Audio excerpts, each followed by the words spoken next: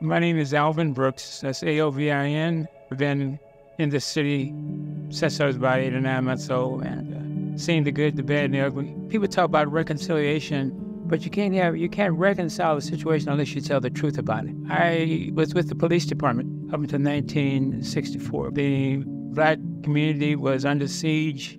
So I saw that from the inside. And then there were three of us who were black men left the police department going to the school district. Then there was the riot. It began on the steps of City Hall on April 9th, 1968. And mainly because the Kansas City School District, under the white leadership, decided that they would not close the schools on that Tuesday, the 9th. And we urged them, don't open the school. They didn't listen to us.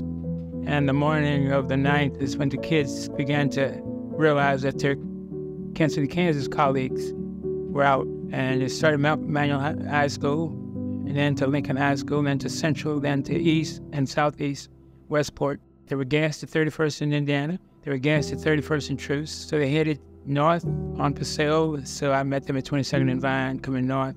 Curtis McClinton of the Kansas City Chiefs, Otis Taylor of the Kansas City Chiefs, Bruce was Kansas City council person. We walked down City Hall, westbound and the eastbound I-70 lane. We got there, there were a number of speakers. I was the last speaker. Kids kept chanting my name to speak because of my responsibility with the school district. After that, the police are here in, in riot gear. So I sensed the need to get these kids out of here. First bus arrived.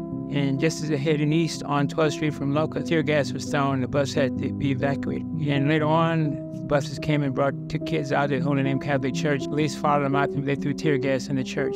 Now I'm setting the stage for the riot. It really started there that day because frustration and anger.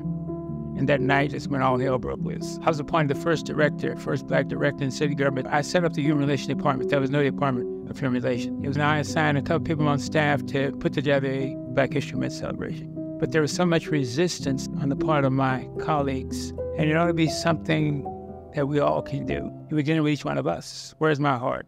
Where's my very being? What do I say about things like racism and bigotry and homophobia and xenophobia? It's different. What, what do I say about that? Do I say it, even if it doesn't affect me, do I say something about it? I should.